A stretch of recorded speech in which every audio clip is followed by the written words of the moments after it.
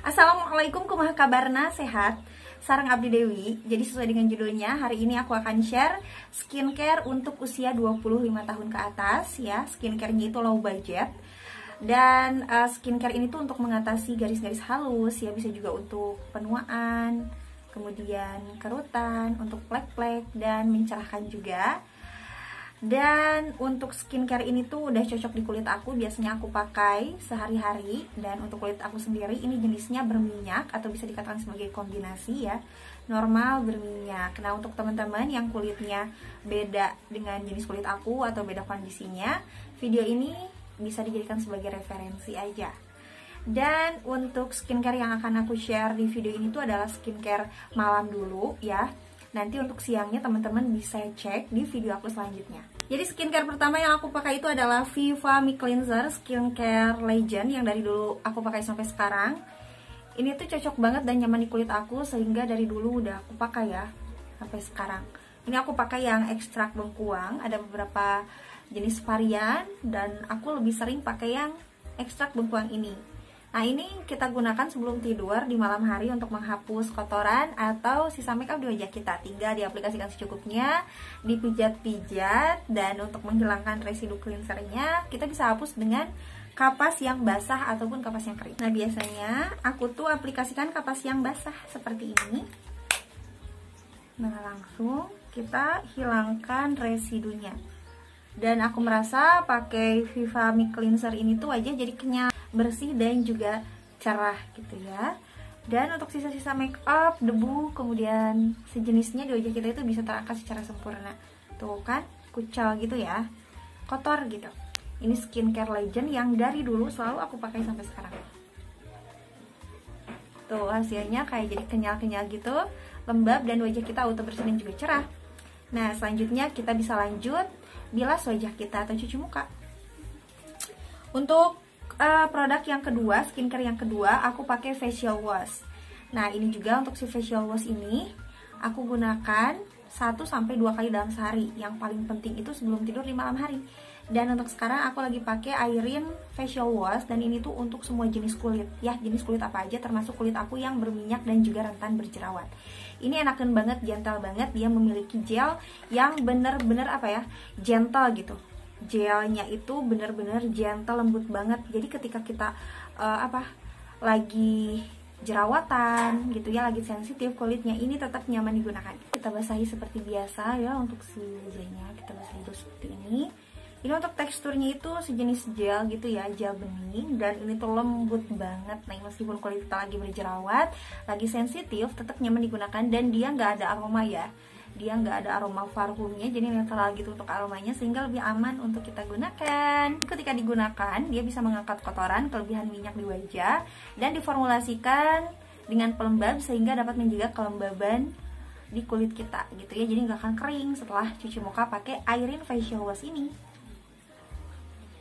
Aku juga merasa kulit aku tuh kayak kenyal bersih dan juga cerah. Nah setelah dipijat-pijat seperti ini ya beberapa saat langsung kita bilas wajah kita sampai benar-benar bersih. Dan ini setelah cuci muka wajah kita bersih banget dan juga cerah seperti ini tapi tidak kering terasa lembab. Biasanya skincare selanjutnya yang aku pakai itu adalah Viva Air Mawar. Aku gunakan sebagai toner ya untuk Viva Air Mawarnya. Biasanya setelah cuci muka tinggal ditap-tap aja seperti ini pakai kapas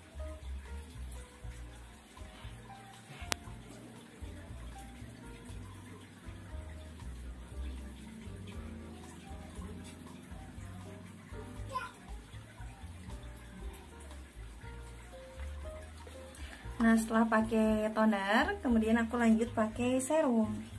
Serumnya untuk saat ini aku pakai Landena yang uh, retinol serum. Jadi ini fungsinya banyak banget ya untuk retinol serum ini biasanya aku gunakan di malam hari sebelum tidur setelah pakai toner.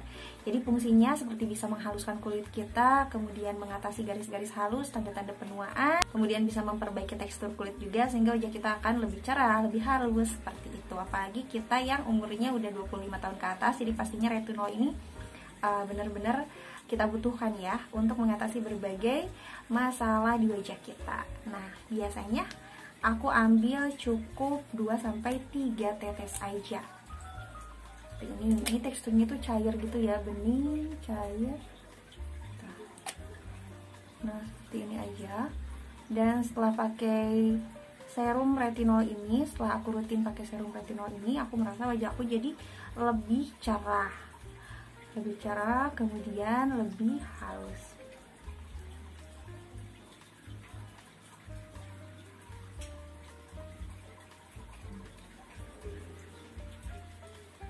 tinggal di tap-tap aja.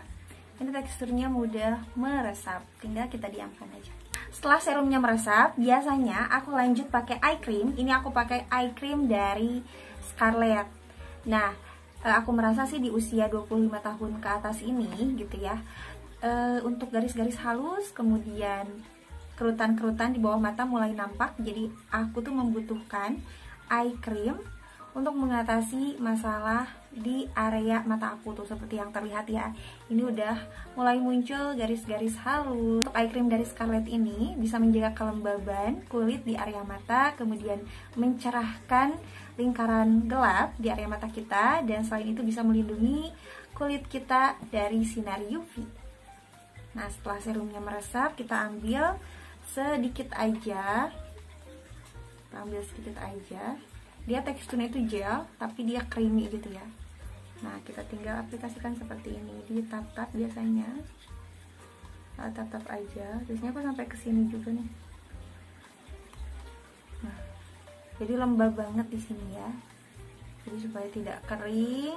Nah jadi dengan menggunakan eye cream kelembaban di area kulit mata kita itu bisa terjaga sehingga kulit kita nggak akan uh, kering ya. Dan ini juga bisa membantu mencegah bisa mengatasi tanda-tanda penuaan garis-garis halus atau kerutan di area mata. Seperti itu tinggal ditap-tap aja seperti ini dia akan meresap. Dan skincare terakhir yang aku pakai itu adalah pelembab. Ini aku pakai pelembab dari Lanbena dan pelembab yang aku pakai ini untuk kulit berjerawat dan juga sensitif. Tapi kalau misalnya kulit teman-teman normal ataupun kering teman-teman bisa pakai yang sesuai dengan kebutuhan jenis kulit masing-masing. Ya pokoknya mah untuk merek mah gak usah samaan kayak aku. Yang penting pakai pelembab aja seperti itu. Di tahapan akhir penggunaan skincare kita aplikasikan pelembab. Jadi supaya kelembaban yang telah kita dapatkan ya seperti ini tuh bisa terkunci dengan pelembab ini. Ini aku pakai dari Lanbena ini udah cocok banget. Jadi dengan menggunakan uh, pelembab ini tuh aku merasa kulit aku gak gampang jerawatan lagi gitu nah kita aplikasikan seperti ini. Dia teksturnya creamy tapi nggak bikin berminyak. Ini skincare terakhir yang aku pakai sebelum tidur. Untuk kulit yang berjerawat sensitif ini bisa banget ya pakai Landena Face Moisturizer ini. Tinggal ditap-tap aja wajah kita auto lembab ya kenyal dan juga glowing natural. Nah seperti ini untuk skincare yang biasa aku pakai sehari-hari sebelum tidur. Dan sebenarnya ada satu lagi skincare yang biasa aku pakai sebelum tidur di malam hari. Cuman ini penggunaannya nggak setiap hari, penggunaannya satu atau dua kali dalam seminggu atau bisa juga sesuai dengan kebutuhan di mana kulit aku butuh, jadi aku pakai.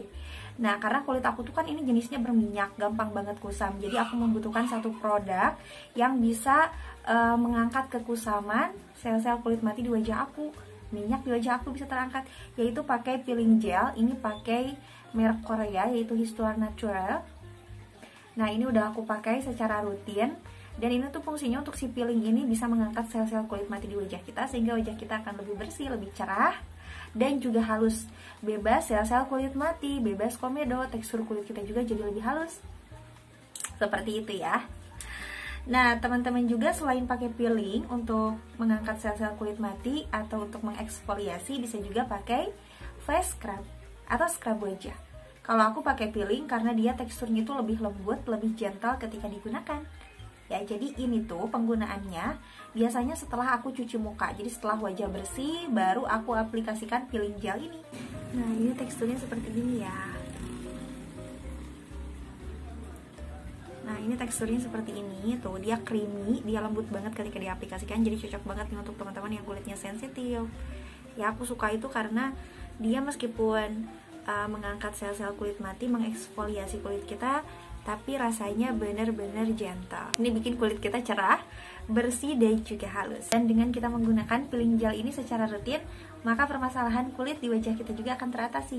Misalkan yang tadinya tekstur kulit kita kasar atau berkomedo akan lebih halus. Kemudian untuk skincare siangnya Nah untuk skincare siangnya nanti teman-teman bisa cek di video aku selanjutnya ya Makasih Semoga video ini bisa bermanfaat Dan akhir kata saya Dewi Wassalamualaikum